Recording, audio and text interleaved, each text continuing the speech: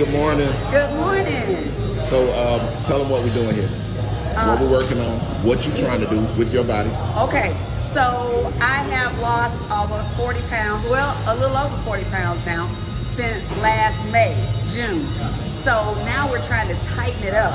And one of the problem areas for women my age, I'm 52, is Show them, show them. Put your arm out, put it out. This is what we're working, folks. You see I that lost right a there? lot of weight. So That's, that's what happened.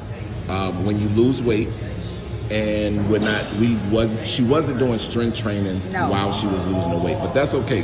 I was The- doing a lot of cardio. A lot of That's cardio, it. exactly. And cardio burns off muscle. But she knows that now, and that's why we're here working on it. So go ahead and take a seat on the machine, and this is one of the machines that we use at Crunch for her.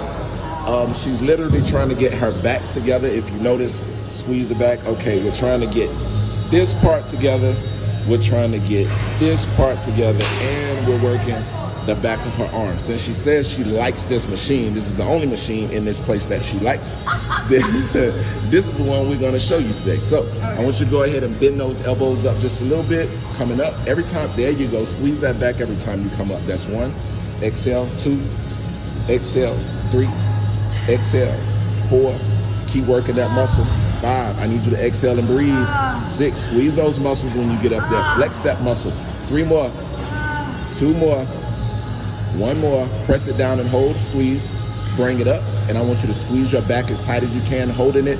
Press it down. Squeeze those arms one more time. And slowly release it all the way up. And that's our tricep back workout for today. She showed you exactly what she's trying to work on, and we'll be showing the progression over the few months and weeks. And uh, man, you, you was crazy, bro. but anyway, y'all have a good day. Holla.